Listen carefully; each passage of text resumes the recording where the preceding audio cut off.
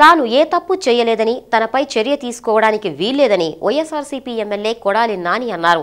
Andhra Pradesh assembly privilege committee సమావేశానికి ఆయనతో పాటు మరో ఎమ్మెల్యే చెవిరెడ్డి భాస్కర్ రెడ్డి హాజరయ్యారు.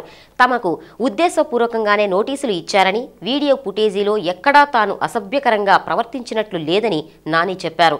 ప్రత్యేక హోదా గురించి మాట్లాడిన వారిపై ప్రభుత్వం కక్షగట్టిందని అన్నారు.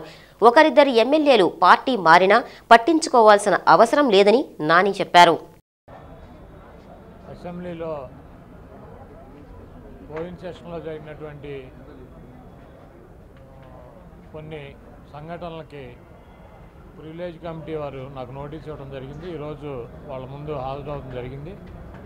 వాళ్ళు మూడు రోజులు జరిగినటువంటి సంఘటనలని కొన్ని వీడియోలు నాకు వేసి చూపించడం జరిగింది. వాటిల్లో తొమ్మిది పదో తారీఖుల్లో నేను ఎక్కడ కూడా వాటిల్లో ఆ విజువల్స్లో లేను.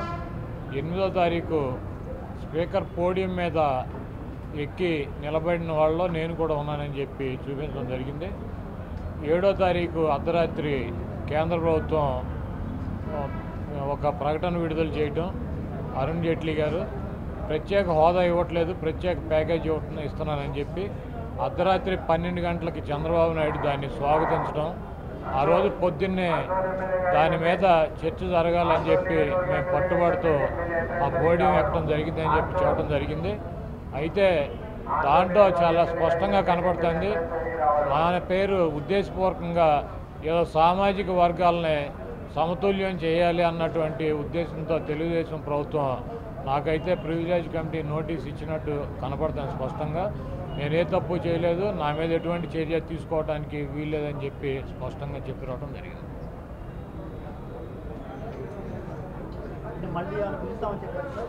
ఏం మిమ్మల్ని- చూపించారు సార్ వీడియో? ఆ, చూపించాను మీరు ఉన్నారా దాంట్లో? ఆ, మామూలుగా తొమ్మిది పది తారీఖులు అయితే వెనకాల ఎక్కడ నిలబడమ్మా.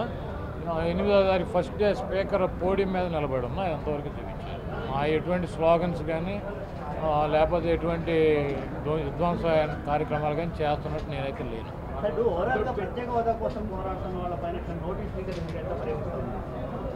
అంటే ప్రత్యేక హోదా మీద పోరాడుతున్న వాళ్ళకి నోటీసులు ఇచ్చినట్టు అక్కడ కనపడలా.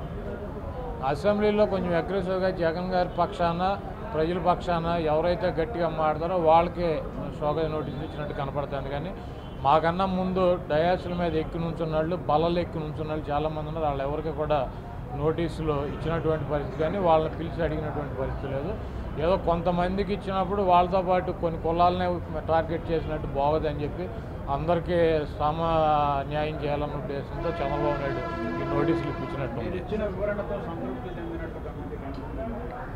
మామూలుగా అంటే వాళ్ళు ఏం సంతృప్తి చెందినట్టు చెందనట్టు చెప్పలేదు. కాదు వాళ్ళ చేతిలో దీని మీద చర్యలు తీసుకున్నటువంటి అధికారం ఎంతవరకు ఉందో నాకు తెలియదు కదా. వాళ్ళు పైకిచ్చి నిర్ణయం తీసుకుంటారు.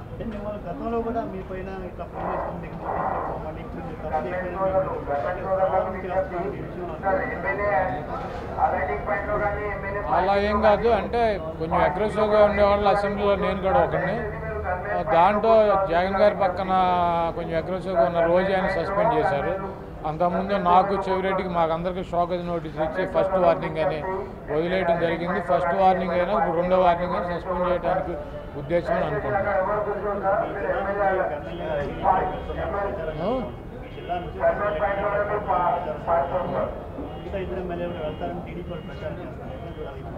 నేనైతే వైఎస్ జగన్మోహన్ రెడ్డి గారితో ఉంటా. వైఎస్ఆర్సీపీలో రాజకీయ జీవితం అంతా కూడా దాంట్లోనే ఉంటుంది. నేను రాజకీయాల్లో ఉన్నంత వరకు జగన్మోహన్ రెడ్డి గారితో ఉంటాను ఎవరైనా ఒకళ్ళు ఇద్దరు పోయినా పట్టించుకోవాల్సిన అవసరం లేదు. పోతే పోతారు ఉంటూ ఉంటారు. వాళ్ళు వెళ్ళినా కూడా అక్కడ ఆల్రెడీ ఎగ్జిస్టింగ్ రాజకీయాల్లో ఉన్నాళ్ళు ఎక్స్ ఇంకా చాలామంది జగన్ గారి దగ్గరికి తీసుకెళ్ళమని చెప్పి మేము పార్టీలో చేస్తామని చెప్పి ఉంది. ఒకటైతే వాస్తవం.